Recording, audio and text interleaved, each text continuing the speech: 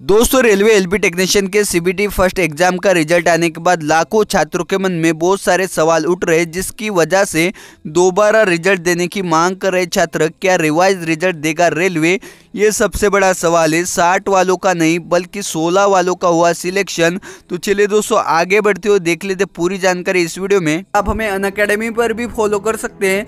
अन academy एक India का largest learning platform है, जहाँ पर आपको रेलवे एसएससी बैंक की तैयारी कराई जाती है।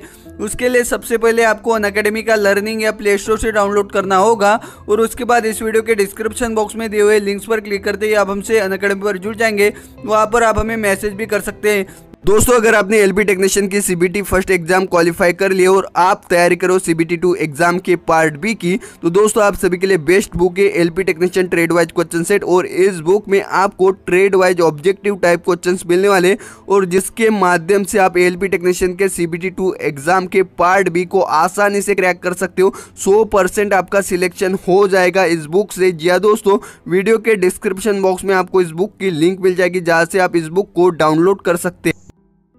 तो देखिए दोस्तों, आपके स्क्रीन पर एक कैंडिडेट का स्कोर कार्ड है, एलपी टेक्नीशियन के सीबीटी फ़र्स्ट एग्ज़ाम का, और इस कैंडिडेट को सीबीटी फ़र्स्ट एग्ज़ाम में 60 मार्क्स मिले फिर भी ये कैंडिडेट सेकंड स्टेज सीबीटी के लिए शॉर्ट लिस्टेड नहीं किया गया है। वही हम दूसरा स्कोर कार्ड देखें तो दोस्तों इस कैंडिडेट को केवल और केवल 16 मार्क्स मिले और ये कैंडिडेट सेकंड स्टेज सीबीटी के लिए क्वालिफाई हो चुका है। यहाँ पर साफ़ साफ़ बताया गया है कि short listed for second stage examination दोस्तों, ये दो पिक्चर सोशल मीडिया पर बड़ी तेज़ी से वायरल हो रही है और इनका कंपेरिजन किया जा रहा है और ये 16 अंकों का ये जो कैंडिडेट है और इनका सिलेक्शन ऐसे कैसे हुआ इसी के ऊपर बवाल उठ रहा है सोशल मीडिया पर।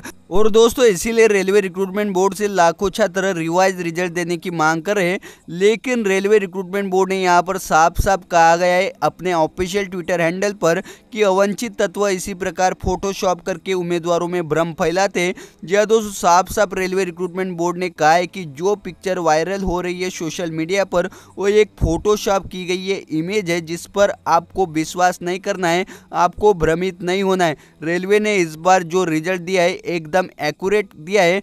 दोस्तों, अपने ऑफिशियल ट्विटर हैंडल पर रेलवे रिक्रूटमेंट बोर्ड ने साफ़ साफ़ कहा है कि जो रिज़ल्ट आया एकदम एक्यूरेट आया है और इसे फिर से रिवाइज नहीं किया जाएगा। तो दोस्तों, आप सभी के लिए बहुत बड़ी अपडेट है। इस वीडियो को ज़्यादा से ज़्यादा शेयर करेगा।